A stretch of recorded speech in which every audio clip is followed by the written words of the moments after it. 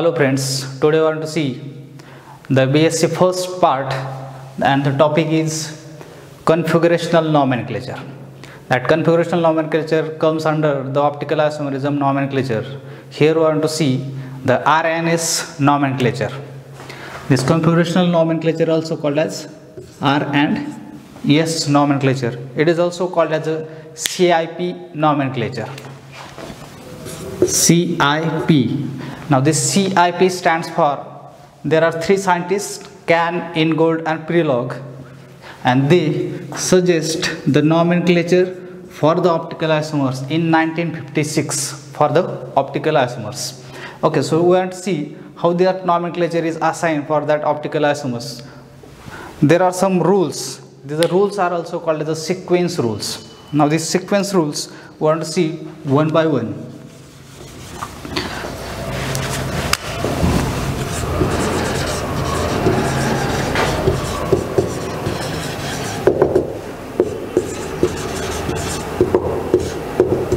First. Give the sequence. It is also called as a priority.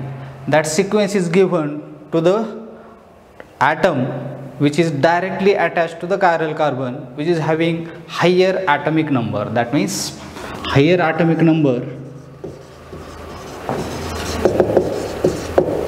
has given first priority okay for example you are having chiral carbon and that carbon having four atoms. For example ch2oh h oh and ch3 when you want to see the atoms which are directly attached to that chiral carbon is okay here we want to change one of the atom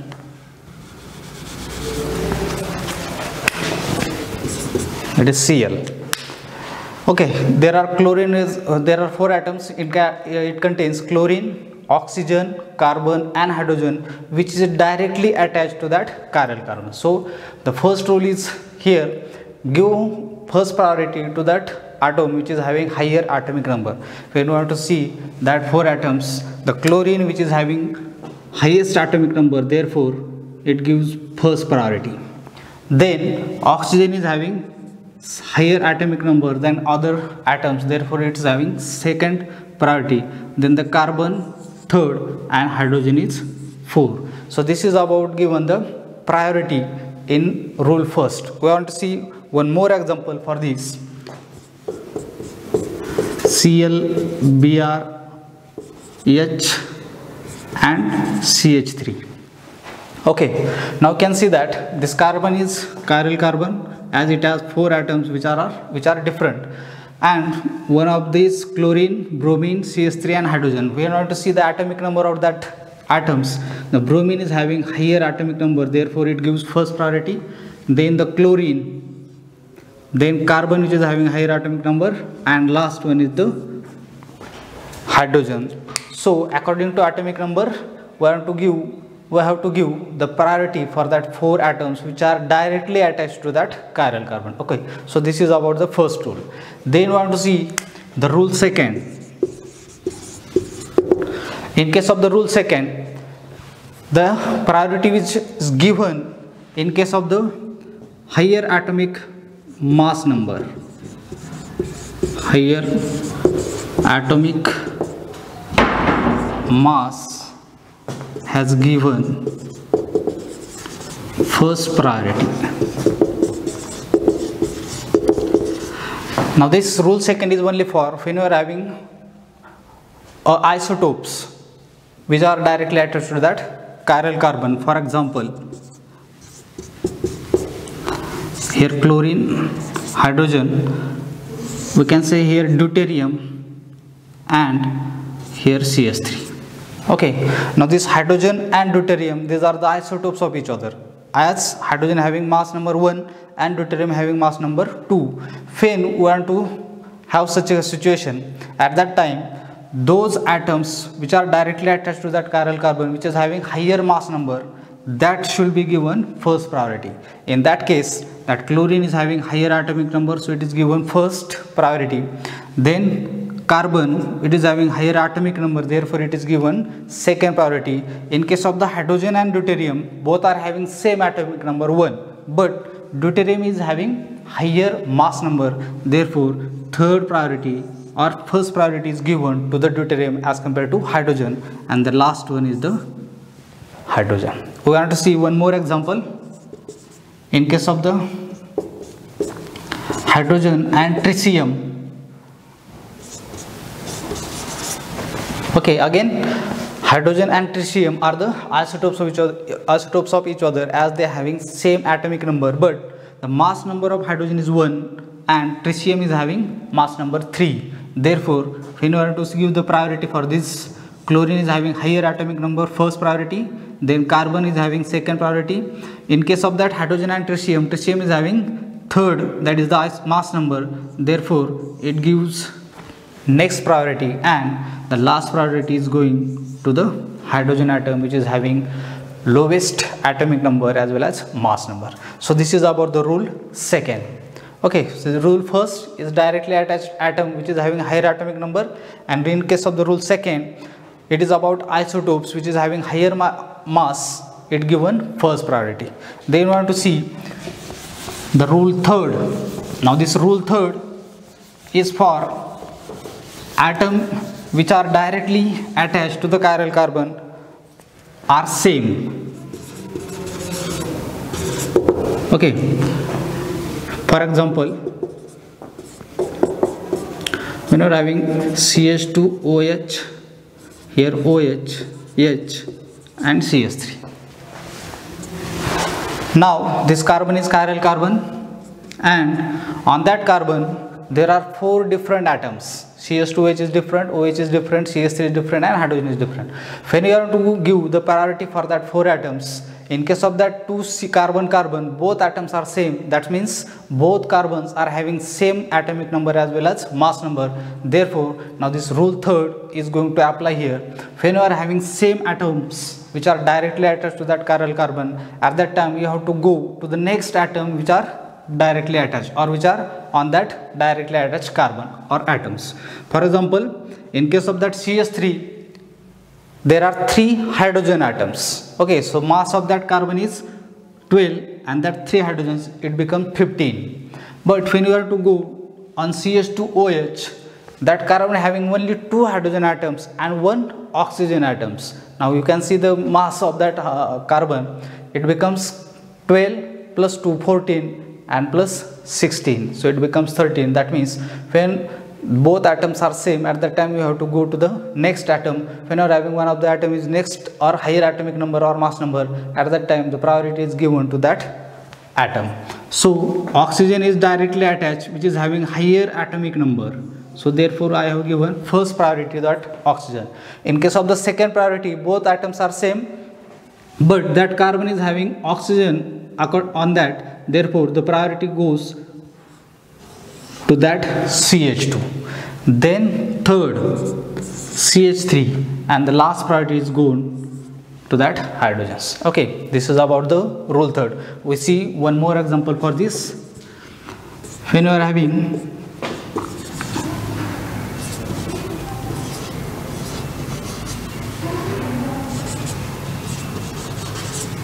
like this okay now you can see you can see that there, the, there are also four atoms which are different and that chiral carbon is having two atoms directly attached are same. For example that carbon and that carbon both are having equal atomic mass as well as atomic number.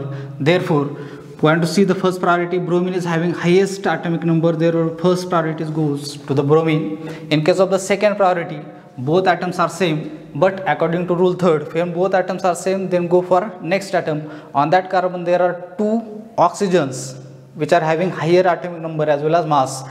And as compared to that CH3 as it has only three hydrogen atoms which is having lower mass number. Therefore the priority goes to the COOH then third priority is for CH3 and last priority is for hydrogen atoms. So this is about the rule third okay then we want to see the next rule. That is rule 4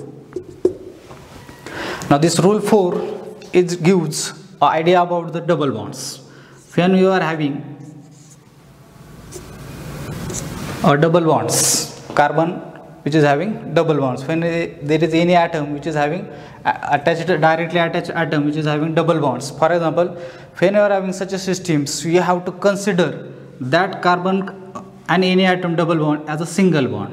That means two single bonds c y as well as c y.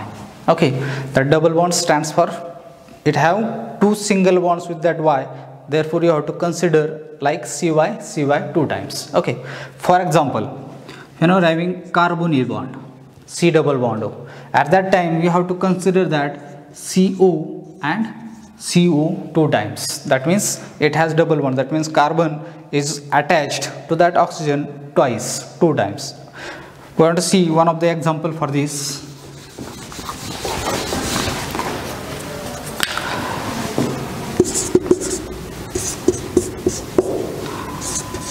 COOH, CHO, Cl and H. Okay, now this chlorine, uh, out of that four atoms, chlorine is having highest atomic number, therefore it gives first priority. In case of the second priority, both atoms are same, carbon, carbon.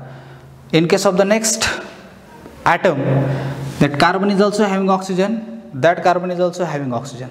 But then in, in case of the COOH that COOH stands like this. COOH okay this carbon having two bonds with oxygen here and another one bond with oxygen. That means carbon having three bonds with oxygen. In case of the carboxylic group. In case of the aldehyde group CHO it stands like this. C double bond O H. Now this carbon oxygen having double bonds therefore it stands like this. C O O and H. When you are to consider that three atoms on that carbon the mass of that carbon becomes higher as compared to that carbon as it has three oxygen directly attached to that carbon. In case of that aldehyde group there are only two oxygens which are directly attached to that carbon. So the mass of that carbon becomes higher therefore first priority or earlier priority goes to that carboxylic group then this third one and the last one. So this is about the priority sequence rule which is given to the atoms which are directly attached. Okay when you get that rules now we want to see how to assign exactly RNAS configuration. This RNAS configuration R stands for rectus. Rectus means right hand side and S stands for sinister. Sinister means left hand side. When that rotation is at right hand side it is called as R and when it is at left hand side it is called as a sinister. We want to see few examples for this. To assign the exact R and S nomenclature. For example very simple example. H OH CH3 and here Br now this carbon is chiral carbon. Four atoms which are directly attached to that carbon are different. Therefore it is denoted as a star. If we want to consider that atoms, bromine is having higher atomic number. Therefore according to rule first, the first priority goes to that bromine. Another higher atomic number is the oxygen. Therefore second priority goes to the oxygen and carbon is having higher atomic number. Therefore third priority and that hydrogen is having last priority. Okay. When you are having such priorities that means last priority at horizontal uh, groups. That means horizontal lines. At that time you have to give the rotation. What kind of the rotation? Is rotation is that the last priority group is goes down. That first rotation is there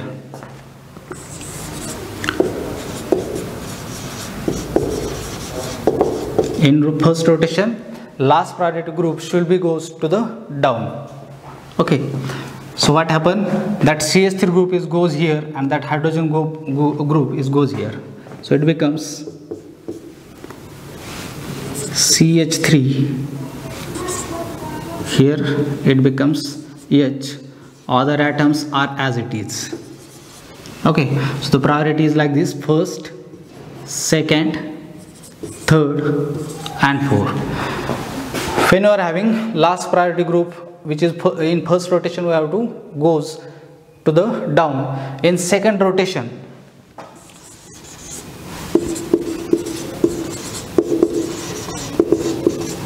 the second priority group has you have to goes to the top. You have to take at, at the top so what happened? That OH group goes on top and that bromine group comes here. So it becomes Br OH H and CH3 the priorities does not change. Bromine first oxygen second CH3 third and that hydrogen becomes 4 priority. Now you can see the rotation of that compound. First second third and 4 so it becomes left hand side rotation that means anti-clockwise. Therefore the absolute configuration or configuration of that carbon is S. S stands for sinister. How that S comes we go uh, we see uh, once more one, one more time. When that carbon is having there chiral carbon there are four atoms bromine OH CS3 and H. Bromine is having higher atomic number therefore first priority then oxygen second carbon third and four hydrogen when having last priority group at horizontal you have to give two rotations. In first rotation the last priority group you have to take at down position or at the lower lower side. So in first rotation we have taken that last priority group hydrogen at the down. When that hydrogen is uh, comes here that ch3 goes to that uh, place. In case of the second rotation the second priority group you have to take on top okay that uh, second rotation between that bromine and hydroxy group. So OH groups goes here and bromines comes here. So this becomes like this. The priority is given. First bromine hydroxy group second CH3 third and last group is the 4 hydrogen. And the rotation of that compound is having anti-clockwise or it is a left hand side rotation. Therefore the absolute configuration or configuration of that chiral carbon is about yes okay Thank you.